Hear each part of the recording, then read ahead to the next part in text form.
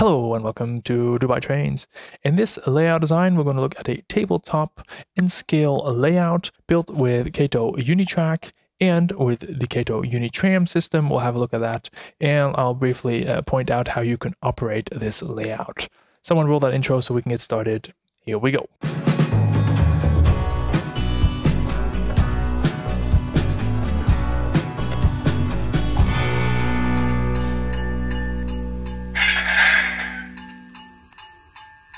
Let's have a look at the general requirements for the layout. It's freelance design, set in 1980s onwards uh, in the northeast side of the US. Uh, running CSX and Norfolk Southern locomotives, N-scale Kato Unitrack, I already mentioned that. And initial idea was a minimum radius of 11 inch and turnouts number 6. There's a lot to talk about on that topic uh, later. So on the operation side, uh, it's meant to be operated by one person, a double track mainline, uh, with continuous running and then perhaps some industries on the side where you can do some switching in the meantime. It has some requirements for some several large industries being an intermodal slash car area, a yard, uh, also acting as staging, and then a large industry which would be a paper industry, small terminal, and then a Unitram, a loop. Everyone who doesn't know, I will uh, show that later what that is. It is to be built on an existing tabletop, and he doesn't mind to use grades if needed, otherwise uh, don't use them. The client says he watches my videos and really likes my approach, so despite this is a tabletop and normally I do more prototypical switching type of layouts, I just thought, okay, let me just continue with how I would approach this and see what comes out a little bit as well. So tabletops are a whole different ball game to more prototypical type of layouts and where you try to have as much linear trackage as you can to, to, to, yeah to have your switching and your prototype scene. But on a tabletop, that's just not possible because you don't have that linear uh, space. So I sent him uh, two things. First, the bottom schematic. This is a very high over schematic of a type of layout we could achieve on a tabletop. It's basically uh, two uh, loops with some double track mainline in it probably, and the inner loop uh, folds over on itself. And then there will be uh, several crossover locations from the inner loop to the outer loop. This schematic gives a insane amount of options when uh, operating and using it, which you'll see later. And then on the top, uh, I just put in everything he requested uh, on a single line diagram. So an intermodal uh, yard somewhere here, and then some industries uh, with some, some switching, a passenger station, if that would fit, was on the list, and then a yard with some switching. So not a lot of items, but then again, there's also not a lot of space. So Unitram. Unitram is a system type of product where you can have a tram line in N scale and a whole city scene. You see it, it looks absolutely amazing. And it's basically built up out of these tiles. And these tiles compile of uh, straight sections and curve or a turnout. This is something that needs to go onto the layout as well. This is the Unitram system. As said, the client uh, has already had a tabletop. So here you see it, the uh, wood frame, is underneath. And do note that the, uh, the pink foam is a bit larger than the tabletop. And if necessary, the track can be on that uh, space as well, but you prefer to just have it on the, the confinements of the tabletop. So that was a lot of build up. Let's finally go to the design. Here you see the tabletop. You see it in brown, that's the wood uh, section, and then in pink is where the foam extrudes over the tabletop. So we can use the space if we have to. Now before we go on to design, just one more intermittent piece of information we need to discuss. The Kato Unitrack has these elevated curve sections, which are just amazing, as you see on the imagery here, but they only come in double track sections. So if we then look at the geometry, they only have a few sizes of this double track section. So ideally we want to use it, but let's see if we can. Then of course they have a whole array of single track, as you see here as well. So let's look at the design now. This is just a very first rough onset just to see if the initial diagram that we drew right here would actually fit in the space. And lucky me, it does, so that uh, always helps. So what we see is, it is an outer loop. Um, it just goes all the way around the layout. There's no crossovers yet, so it's really separated. They managed to put some staging here in the north. This uh, later turned out not to be necessary. Um, and then there's the inner loop here, and as you see, the inner loop crosses itself right here with the crossover. The idea of this design is just to see if everything would fit. So let's look at the constraints. The constraints would be, for example, here with the crossover. You want to have this as far to the right as possible, so this stretch can be the longest as possible. And then we dive into the curve. Now, these talking about these curves, the initial idea, we get cheat sheet, So you see a small chart with inches right here and centimeters right there. So I said additionally the uh, idea was to have 12 and 13 inch uh, for the inside and outside curves. Now looking at some uh, rail cars that seemed quite small. I mean ideally you really want to go all the way to 17, 18, but uh, that's just not going to fit. So the next best thing is this 16 and 15 inch. And why do I say the next best thing?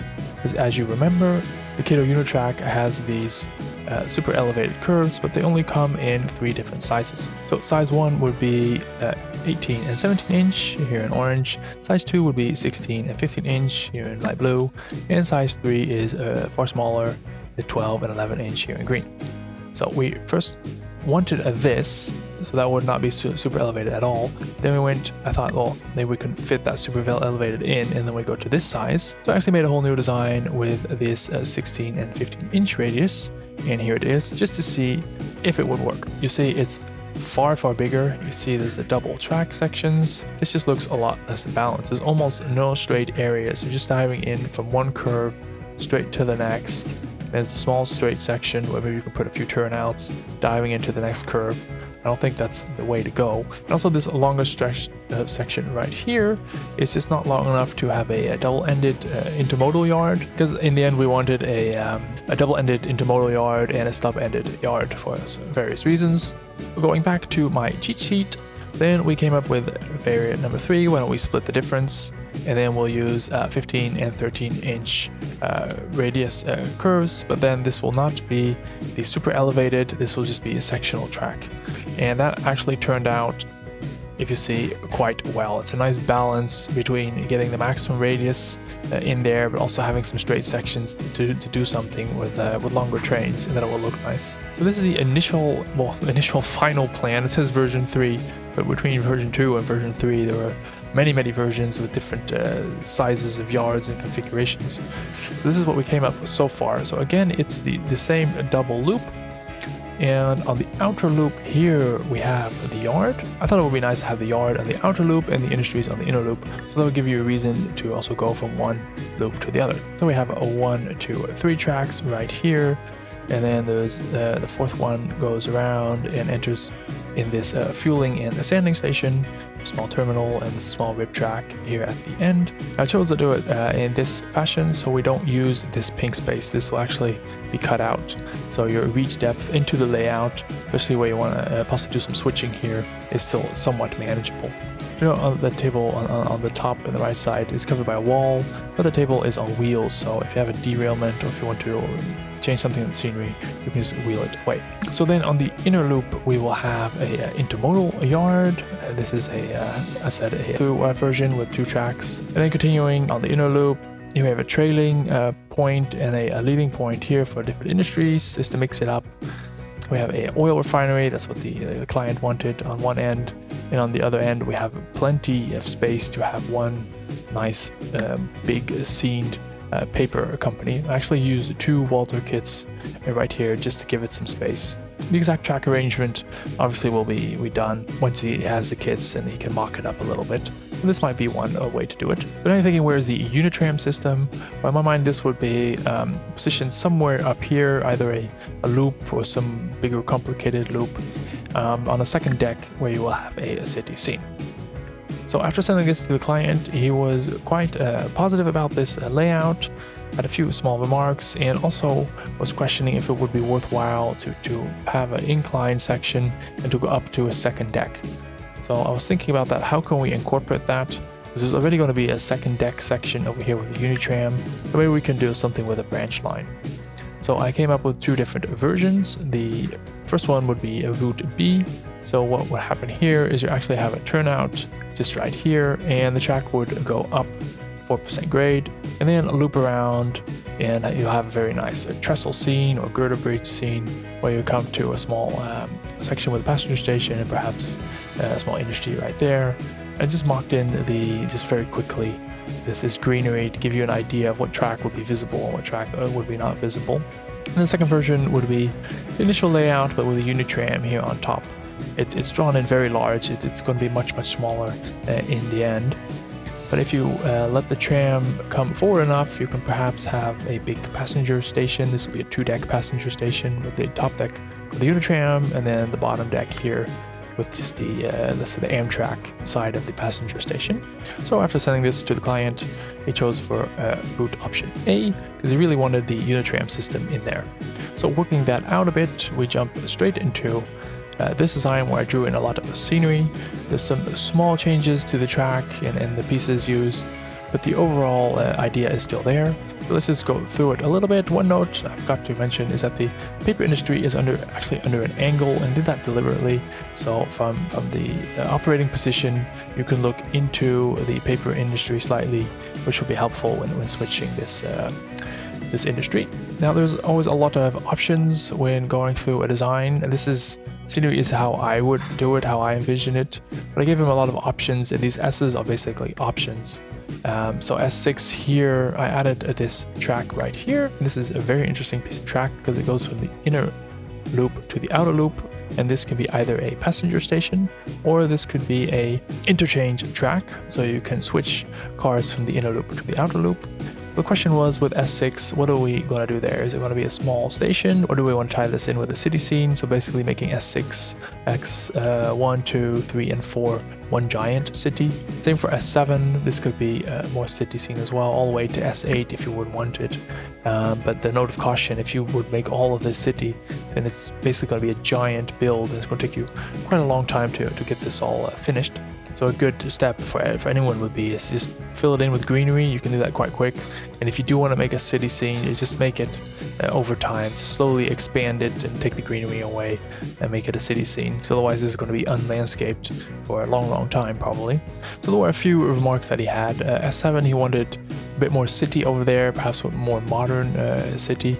And the Unitram loop is, is quite big now. This could be a, a bit smaller if we can squeeze that in there somehow. So taking that into account, this is the final layout when it comes to the scenery. So you see I made the, the Unitram loop a little bit smaller. There's still a trestle right here. Um, I put in a, a, turnout for the Unitram here, and then it goes into this uh, terminal building where you can store one or two of the trams. The client really liked bridges, so here I added a river because paper industries are normally next to a river because they require a lot of water. And we have one, two, three, four, five bridges I hope that quenches the uh, craving for bridges. And I add another one here on the, the south end as well, next to the oil refinery. The river cannot really go anywhere here, naturally speaking. I just made it a, a part of a dried up riverbed um, where the bridge still crosses over. If we look at the town slash city itself, I built it up in layers. Um, the whole layout is built in layers. You want to start with low buildings in the front, so that would be a yard. Then here this nice open valley, greenery leading into this uh, trestle or, or a girder bridge where you can look through. And then the start of the city would be a bit more green with residential areas. Here would be some kind of gazebo or city hall with some greenery. In the front you would want to have one or two story buildings slowly leading up to three stories and four stories in the back. And he requested a very modern, I think, UPS building. That's something you can do on this side of the city together with some other more modern buildings. And also the Unitram system is, is quite modern, so that would tie in, tie in nicely here with the modern buildings. Here's the intermodal yard with two tracks. Here I made it in the end it's just a uh, interchange track.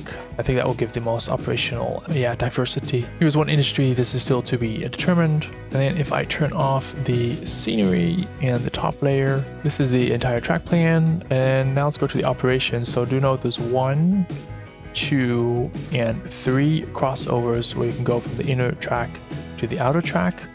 Uh, and of course there is this interchange track, but we'll just call that interchange for now. So there's one, two, three crossovers. Onto the operations. So now onto operations. I made this extra section just for everyone and also myself to get their head around what it means to have this uh, double loop where the inside loop is folded upon itself. So as you remember, this is the first initial design I sent to the client. Now we've progressed a bit, so trying to keep it in a schematic sense, um, this is what we have right now. So we have basically the, the, the two loops, and then there's a yard plus terminal here, intermodal here, interchange there, paper industry with a uh, trailing edge and a leading edge here for the other industry, oil industry. So most important as well as I said before, are these one, two, three crossovers. So the first thing you can do is ignore all the crossovers and set them all in a straight direction. So then this is basically what you're going to get. Two totally separated lines, except for the interchange track, where you can send cars from one track to the other. So if you draw this in a schematic, now this is where it gets interesting, we have the black line here, so there's a yard and a terminal right there, and this is where the interchange track uh, dives off. This will be the blue line.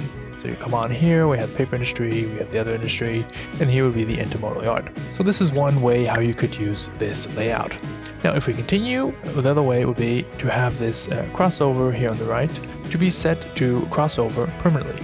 So what would happen now? You basically generate one giant loop, nothing more, nothing less. So then the uh, single line diagram, as you see at the top, would look like this. So do note the interchange is on it twice because you have it twice on your one single line. And note as well, coming from the yard, the paper is trailing and the various industry is leading. As where the previous design, the various industry is trailing and the paper is leading. Uh-huh. So that's a bit of a twist right there.